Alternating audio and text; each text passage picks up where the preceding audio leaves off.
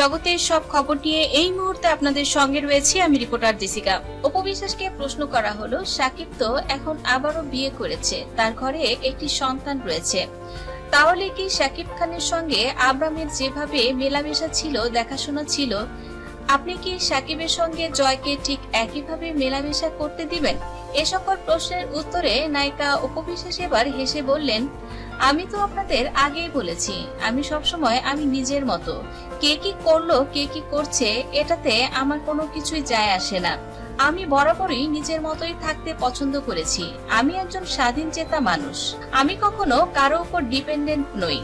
তবে জয় যেহেতু বড় হচ্ছে, মায়ের পাশাপাশি ওর বাবার ভালোবাসাটা প্রয়োজন।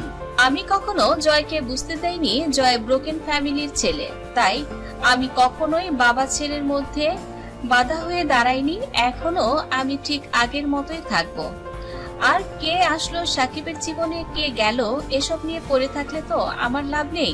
আমার তো অনেক কাজ আছে। বুবলিকে নিয়ে ভাবার আসলে আমার কোনো সময় নেই। বুবলিকে নিয়ে আমি যেমন আগেও ভাবিনি, এখনও ভাবতে চাই না। আবরামের সাথে ওর বাবার যে সম্পর্কটা আগে ছিল ঠিক এখনও তেমনই থাকবে। আর সাকিবের পরিবারের সঙ্গে আমার সম্পর্কটা আগেও যেমন ছিল, এখনও ঠিক তেমনই আছে। বুবলি, আমার জীবনে কখনোই কোনো প্রভাব ফেলতে পারবে না। এতটা কাল পারিনি আর এখনও পারবে না। বুবলি যদি ভেবে থাকে, সে সাকিবের জীবনে এসে এবং তার সন্তানের ছবি প্রকাশ করে সে তার জায়গাটা দখল করে নিয়েছে, এটা কিন্তু বুবলির ভুল ধারণা।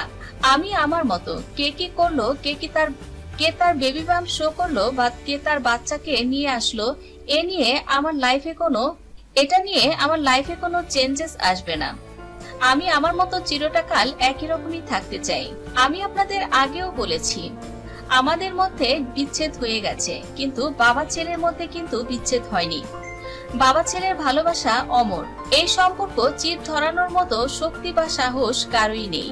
তো দর্শক বন্ধুরা, নায়িকা উপবিশ্বাস সাকিবের সঙ্গে অনেকদিন আগে বিচ্ছেদ হয়ে গেছে। কিন্তু বিচ্ছেদের পরও অপু কিন্তু তার সন্তান জয়ের দাদা দাদির সঙ্গে তার সম্পর্কটা ঠিক আগের মতোই রেখেছে। আর তার প্রমাণস্বরূপ আবরাম খান জয়ের জন্মদিনে শাকিব খানের বাড়িতে নায়িকা অপবিশ্বাসের উপস্থিতি, এটা কিন্তু ভক্ত দর্শক নিজের চোখেই দেখেছে।